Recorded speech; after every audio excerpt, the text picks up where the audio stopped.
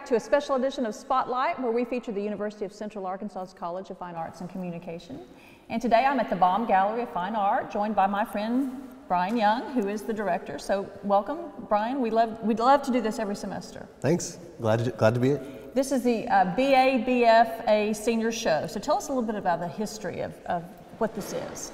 So, uh, twice a year, in the spring and in the fall, we feature the work of our graduates, either those in, let's say, the fine arts, either getting a BFA or a BA. And one of those requirements is they have to show their work in this museum setting. And so it's a tradition that goes back at least to 1995 when the Baum Gallery opened. Wow. Because before then we didn't have a place, right? As far as I know, Uh, so me not too. like this. Yeah, me too. So, so um, um, how? I- I mean, I know a lot of artists want to um, are solitary, Mm-hmm. and, and, and is this is this a big deal? I mean, I'm sure it's a big deal for them to get out, but it's, I bet it's hard for them sometimes to sort of break out of their shells and and to put themselves out there for all the world to see. Right. So, in addition to preparing their work, right, Yeah. they have to get their work ready, whether it means framing it or thinking about how they're going to present it.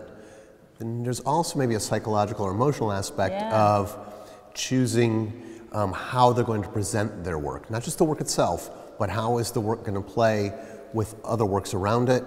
Um, what are some of the expectations that their faculty members have?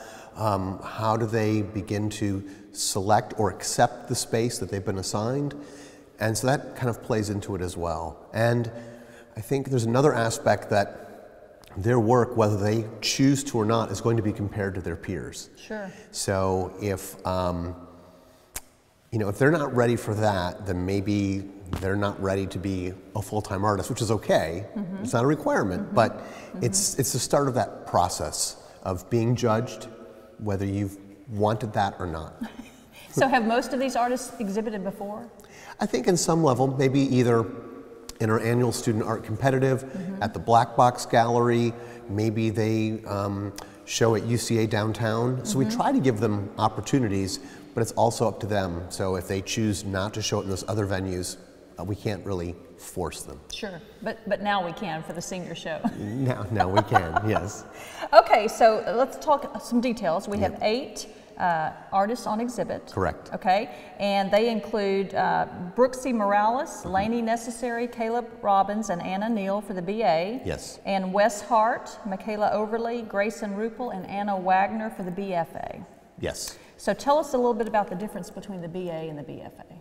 So the BFA is um, it's a little more demanding and it has more coursework as an artist. So they have to go through um, extra credit hours in that area. So and the expectations in this particular exhibition are also a little bit higher as well, so that their um, their footprint is typically a little bit larger. So, for example, with um, Brooksy Morales, she has the full front gallery, and um, with Wes Hart, he has the entire um, what we call gallery number 3 and uh, Grayson Rupel has all of gallery number four and a couple paintings as well, and so that's part of the expectation. So who determines this? That's where you come in, right? As So, how- yeah. how- what's your role in all of this? So my role is to take the work that the students um, that have been accepted by their professors. So they're saying, we think you should show this, this is how we think you should present it. And then once all that work is gathered, then it's my job to assign placement of that work and to make sure that it works kind of cohesively. And I also have another role that others don't, and that is I want to make sure that every year or every semester the presentation is maybe a little different than the year before. Mm-hmm. Well, when I walked in, I was like, wow, this Right. is. So that's something that the current students don't think about, and I don't mm-hmm. ask them to think about that. But and I also want to mix up who goes into what. You don't want to have always have painting when you first walk in, or always have mm-hmm. photography. Mm-hmm. You don't always want to just have. So I want to make sure that I mix it up from year to year, and I play a game in my own head, and that game is um, I pretend that either the dean of the college, the chair of the fine arts, or the president, that they're going to walk in here and how are they going to feel about the output of the art department in general? Are they going to see a cross section? Are they going to see variety? Um, are we going to make sure that the artists show their work in a professional manner? Um, so I try to pretend that I'm one of those 3 people and make sure that um, that we have kind of the department's best foot forward. And I try not to let any personal preferences get in the way. I try to be as objective as possible. So tell us about these eight artists. What sort, we have lots of different media. Right. That's always the Yeah, that's fun. always the key. So we have um, Laney Necessary who's doing painting. We have Caleb's work. He's doing graphic design. We have Anna Wagner's doing ceramics. We have video. We have photography. We have mixed media, um, and even in a sense, uh, in the last gallery we have conceptual work, work that um, almost is um, low end fabrication. And so that's kind of an aesthetic consideration as well. So you walk in with this maximalist black gallery, and then you end with a little bit of bewilderment, almost like scribbling on the walls, breadcrumbs on the floor. So, so the idea is that I think from the time you walk in until the time you finish, just a, a miniature journey. Great, great. So what's the timeline? How long have, uh, I mean, they, they hung these pieces or they, exi- they moved these pieces for exhibit when? Last week? Yeah, so the show opened on November 1st, Okay. and then they, I think we began to install it around November 24th. So they had about five, six, October- uh, October excuse me, yes. Okay, okay. So we had about a week, Okay. um, six working days Okay. to put it together. And give us the details, uh, how long it's on exhibit, gal- uh, hours of the gallery. So the gallery's open Monday through Friday, 10 to 5. We have extended evening hours on Thursday until 7, closed on the weekends. And the show will run through December 16th. Excellent. Don't miss your chance to get out and see this exhibit. It's fabulous. And we're going to be back next with one of the artists. What will you find at UCA? The next generation of artists educators, and communicators. The College of Fine Arts and Communication offers 42 undergraduate and graduate programs of exceptional quality. contributing to a deeper appreciation of the human experience. but we also invest in your experience. with broadcasts, conferences, exhibits, live performances, Publications, recitals, readings, and screenings. We even offer a unique artist in residence program. Featuring performances and master classes with accomplished visiting artists. all of that experience pays off. The school placement rates of our music teacher graduates with K 12 certification is close to 100%. We have many disciplines here, but they all share the same dedication to rigorous practice, And scholarly achievement. which is why our graduates perform so well. The College of Fine Arts and Communication at the University of Central Arkansas. Go here and go anywhere. I'm back here now with Anna Wagner, who is a BFA candidate in ceramics. So, welcome, uh, Anna, to Spotlight. Thank you so much. So, tell us a little bit about yourself. Where are you from? I'm, um, I'm actually from Wichita, Kansas. And how did you wind up here to study art? Um, it's kind of a little backstory, but I. We like I- those. We like those, okay. well, um, I had a little downfall with my family, and so um, my mom and my stepdad um, wanted to take me in here at Beebe, Arkansas, Oh, yeah. and so I ended up going to UCA Mm-hmm. um, around 2015. So. Okay. And how did you become an artist? How, as a little girl, have you always wanted to be? Yeah, Okay, tell me um, about that. So I actually started drawing.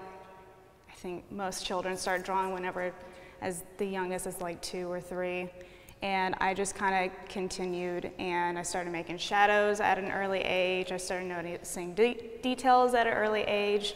Um, for a while there, whenever I was uh, in like in middle school and high school, I didn't really see myself as an artist because you always get those rumors about how artists don't make any money. yeah. So um, it wasn't until, you know, my sister, uh, Amber, who actually convinced me like this is something that you're good at, this is who mm-hmm. you are, you need to continue it. And she actually brought out all the things I've drawn over the years and she says this is who you need to be. So Wow. continue it. Yes. So, how old were you then? I was around about 18, 19 years mm-hmm, old. Mm-hmm. So, you came to UCA to study art. Um, yes, I actually came to UCA to study art. And tell me about, you know, you started drawing. Uh, Mm-hmm. What, what other forms have you used? Uh, painting? I mean, you, you Oh, yeah. to ceramics, but how, let's talk about that in a minute. What, what, what brought you here to ceramics? What other routes? So, um, what brought me here to ceramics was actually Holly Law's class. We, I started uh, making these um, uh, little kittens on um, on a shovel, and I made these kittens out of air dry clay that you get from Walmart. and And you had never done ceramics before? I had never done ceramics before, really. And you're already in school here, okay. Yes. Um, and then after that, we started making a project about microscopic animals, and so I did these these fleas that were reminiscent of um, Salvador Dali's elephants, and so I just. It wasn't until maybe like a year or two later that I started taking uh, Liz Smith's ceramics class. Excellent. Yeah. So uh, you're not gra- graduating until May because you're working on internships. Yes. Tell us about the one you just finished. So uh, this last summer, I took 150 hours. So originally, you're supposed to take 300 hours for your internship requirements. So I took one half at the Clay Art Center at Port Chester um, in New York, and I am now uh, going to do an internship with um, ceramic artist Jason Briggs in South Dakota. In the spring. Yeah, in and the then spring. You'll, and then you'll graduate it. And what do you want to do after you graduate? So after I graduate, I, I plan on, of course, like just taking a year. So during my year, I'm just gonna make my work. I'm gonna put them out into exhibitions and galleries. Um, I'm also gonna sign up for um, a residency, a six week, six to seven week residency at Chautauqua in New York. And also I plan on um, also signing up for a week workshop at Arrowmont. And if I don't get that, then I definitely plan on doing the six week workshop at Arrowmont. Good for you. So, what can you say to your sister now for sort of saying, you know what, this is what you need to do? Because I can tell you're passionate about this. You, you you're where you're supposed to be. My sister has always been like a, a, a second mother to me. She's always, sh she's like 13 years older than me, so mm-hmm. she's always like looking out for me. And I, I couldn't just, you know, give it all to my sister. I have to give it to my mom as well. She's always been, she's always been really passionate about me continuing to draw, so I have to give the credit to both of them. Excellent. Because because I can tell. I mean, there's no point in going off and doing something to make a living if you're not happy. Yeah. So good for you. Thank you so much. Good. So tell us about this exhibit. Um, well, we're going to talk about some of the individual pieces in a moment, but overall, uh, tell us about your your um, inspiration. So, um, when I was about three to four years old, uh, I had somewhat of a hearing problem to what my mom thought. And she took me to the doctor, and the doctor said, She doesn't have a hearing problem, she has ADHD. It's because whenever my mom called my name, I didn't necessarily hear. I just. You were involved in something I was, else. I was involved in something else, and I would just walk right past her. And so, um, after that uh, visit, I was put through um, some treatments. Uh, they examined me, they talked to me, and uh, they put me through like some speech therapy. And so, it's been that's kind of been my inspiration. Uh, about a few, well, actually, whenever um, I started taking Ritalin at a, such a young age, and That young, three yeah. or 4 yeah, around yeah, between about I think it was around six years old. I actually started being prescribed it too, about eight years old, and I was losing a lot of weight. I was having nightmares at night, so my mom took it off of me. Um, and then whenever I was between the ages of 18 to actually now, I was taking Vyvanse and Adderall, and about a few years ago, I was losing a, a significant amount of weight, and it was it got to the point to where my parents had to point it out to me, my friends had to point it out to me that I there's something wrong, and so I actually took um, I actually took a break from it for about a couple years to gain the weight back, and it, it it was really hard to gain that weight back because your body was so used to this process of like not eating like throughout the day. And so that was when I was um, in Professor Massey's sculpture class that I started to work on the idea of like um, inebriated body forms because I was trying to figure out where my body was in the spectrum. And it's this idea of like what I, what I have to give in order to receive. I have to give up my body in order to feel normal. Um, and so from there on, uh, it kind of led to like from body image to what is the real problem? It's the ADHD. And that's kind of how it all began. So you have 17 pieces. Yes. Okay. And so we're going to talk about a few of them. But how are you doing now? Are you are you feeling good? I'm relieved. Um, it's been a long year of um, working on these pieces, and you know, planning and talking through them, working out the ideas and the kinks. So I, I feel pretty good. I bet, I bet. And so all these were made in the last year? All these were made Okay. in one year, Okay. yes. Okay, Anna, tell us about this one.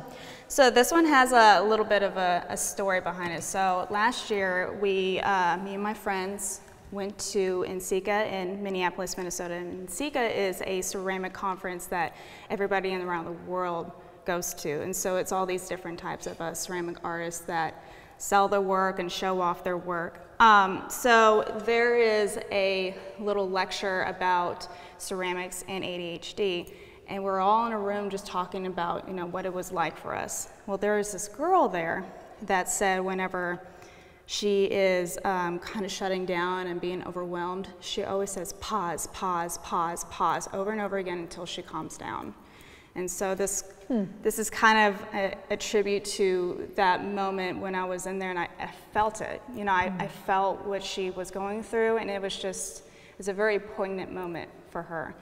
So. Tell, tell me about actually making this. So um, I threw this piece on the wheel, and then um, so I kind of had a.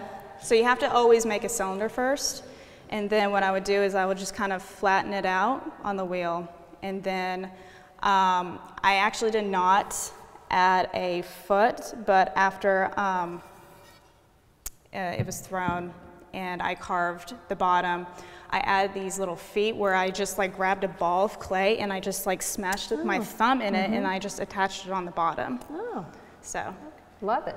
Love it. So this is a self-portrait? yeah, this is a self-portrait. I actually had to go and scroll through a few of my uh, pictures whenever I was like around two or three years old to kind of create the image here. Um, so this is my candy dispenser and it's this idea that the whole Adderall epidemic is just being handed out like candy and just almost anyone and everyone can just go to the doctor and get prescribed one. So that's, yeah.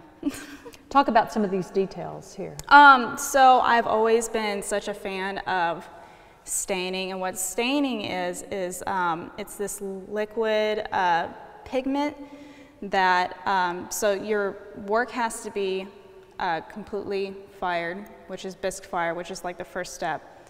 And then what I would do is I would put stain all over my piece and then I'll wipe it away so that way it brings out these little uh, details and these little scratches throughout the piece. And I've, I've always loved it ever since I took ceramics one, so it's just something that I've always continued. Um, I get inspired by comic books. I, when I was younger, um, my stepbrother uh, and I would always like watch uh, the anime series of Batman and Justice League and Superman. He would always talk about, you know, comic books and what Batman's doing right now, or in the DC world, what's going on. And I've always been such a uh, cartoon fan, so I get a lot of my inspirations of the color schemes and the outlining of everything from from those. I love these legs. Thank you so much. Originally, there was a whole bunch of them on the bottom, and I was like, that's not working. So I just like just took a bunch of them off, and I Oh. just created this little detail that's on the bottom. Oh, I love that. Yeah. So, it, so it was it was full of. Yeah, it was full of those Okay. pegs. Sometimes, whenever you're not liking something, you just like sit and ponder for a while, and you're like, that's gonna have to change. I like I like that, and people don't. I think people see finished pieces and they think that that's Yeah, that's how you intended it forever, Yeah. and it's it's so interesting to see the process. There have been a lot of um, sketches to where I would have to scrap every single one of them. I would just be sitting on my couch at home, like doing, watching TV, and I'll just like do scrap after scrap. And I even watch like cartoons in order to get inspired, and I just like, I just could not find it. But sometimes whenever you walk back from your pieces and come right back, you find that inspiration from your subconscious. Love it. So this, I, for a lot of my pieces, half of them ha- are portraits of my, some of my friends that I'm really close with. And a lot of my friends also have like invisible uh, mental um, illnesses. Uh, some of them have dyslexia, some of them have Asperger's, some of them have ADHD. Um, one of my friends has uh, severe anxiety and depression, so I, I try to contribute them to these pieces so that way they have a voice in my work. So this is uh, one of my very closest friends, Wes Hart. His uh, work is actually in the other room right now, and he has um, dyslexia. And so I, um, during the time that we were getting started on these projects, I took a bunch of pictures of him just kind of screwing around, being himself, and he just started being part of my work. So Love it. and it's this idea of having um, kind of like word vomit whenever you don't know what to say or whenever you're trying to say something. It all comes out as word vomit. You don't, it, all the words kind of mash together and it just becomes stupid and you don't know what to say. So, this is what the idea is. And I know that we've all been through that. So, Absolutely. Yeah. Absolutely.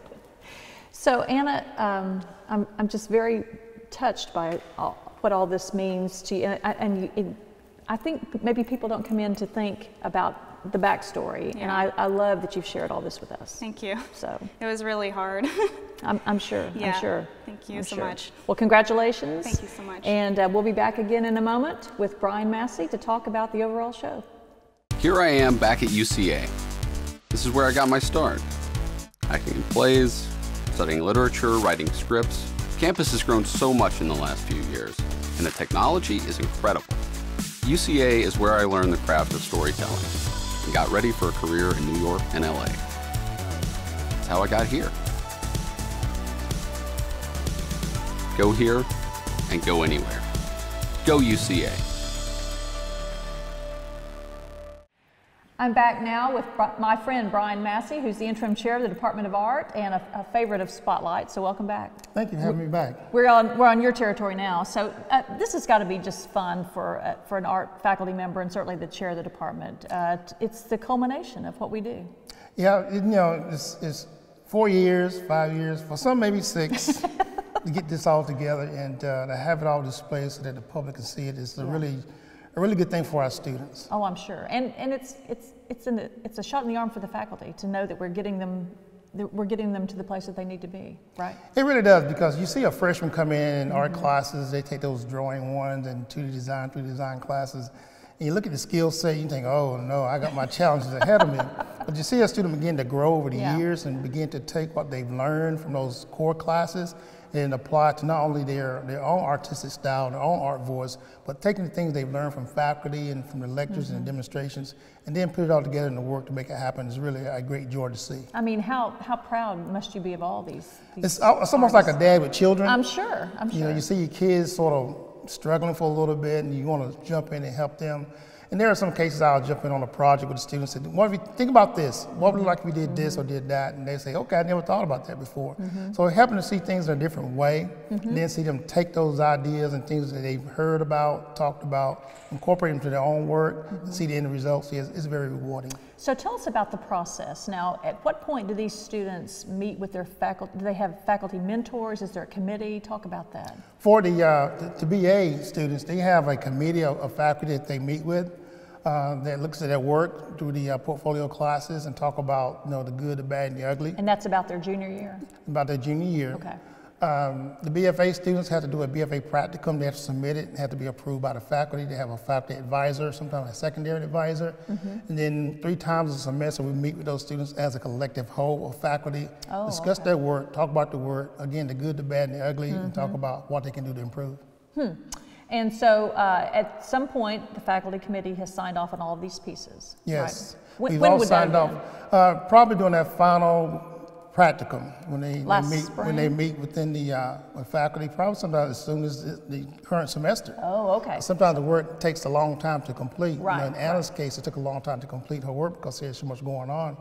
But once the faculty have seen the work, we, we meet here in the gallery on the day they bring it all in. Okay. Then we talk about how to set it up, where to set it up, what should be here, what should be there, give them some advice. But I always tell the student, regardless of what we say as a faculty, it's their work, Sure. Their name's on it. their name's on Yeah, it. yeah. yeah. So, um, so how um, many of these were some of these pieces made like before they knew? I, I mean, were they made in some classes as a sophomore maybe or a junior?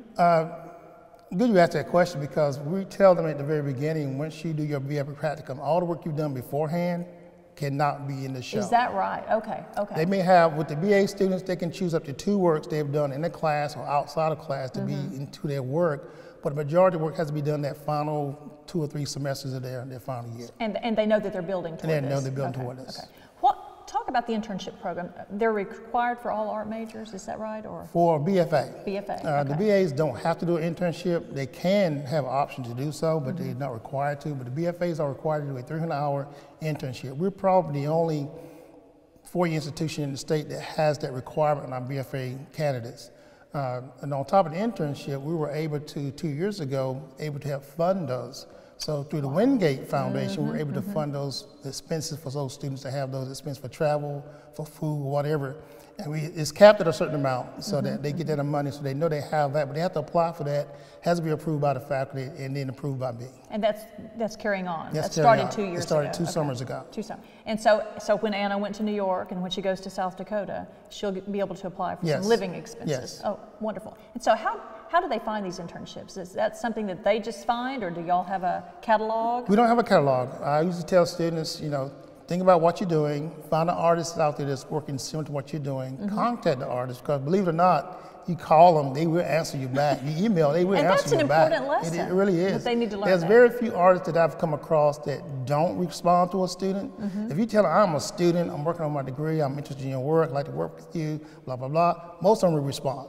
Great, great. And so where do they go? I mean, they go all They over? can go anywhere. Give us some ideas Uh, where. Grayson Rupel just got back from Vienna, Austria. He did his internship in, in Vienna Wow, last wow. summer. Okay. And so they can choose to go anywhere they want to, in state, out of state, in country, out of the country. Uh, again, we try to help them with the expenses, but we're, we're limited in our scholarships. But uh, so a lot of them need to come up on their own. Now, Brian, uh, a couple of years from now, or I guess next year, we're going to break ground on the Windgate Center for Fine and Performing Arts. Yes. How will that change what we're doing here? It won't change as far as what we're doing here in the Baum gallery. This this This will this stay. is just going to stay. Okay. Uh, what happens for us? It puts us in a facility whereas right now we're in three different buildings on five different floors. So with the new facility, it's going to put everybody on the one roof or in the same location. Whereas you get that uh, chance for collaboration. Mm-hmm, Uh, it's hard for someone in ceramics to walk over to the graphic design Right, lab right. and sort of have some sort of conversation. Uh, and that's what I thought was important about getting us on the wooden roof because I, during my days in graduate school, I was always able to go to the stadium and look, walk, talk to the painters. Mm-hmm, I'm not a painter, but I was a sculptor, so I was talking to the painters. So I, I know the importance of collaboration with other artists outside your field Mm-hmm. is important to, for those new ideas to really, really occur. And so, but the BA, BFA show will still be in the Baum. Still be in the Baum. Great, great, Yes. great. There will be exhibit space though over there. Yes, there will be exhibit space over there because one thing we're going to be losing is the black box gallery. And I wanted to make sure in the new facility that the students still had that power to run the gallery, set up the shows, and have artists bring in that they can bring in to show students work. And, and so the Baum gallery will continue on, uh, and we'll, we'll, we'll be here again to, to showcase the, the senior, stu- senior student work. Yes, we will. Excellent. Thank, Brian, thanks for joining us again, Anytime. always, and we'll see you next time for Spotlight.